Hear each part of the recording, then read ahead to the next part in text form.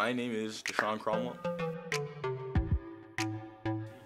My number is 33, and I just picked it. My major is strictly business. I am a freshman in college. That's gotta be my mom's fried chicken. That stuff smacks. Kobe! I could fit in a nurse's pocket when I was first born. It's three pounds and two ounces. Majestic.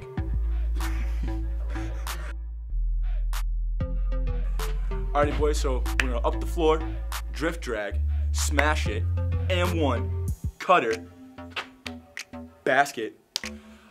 Marcus,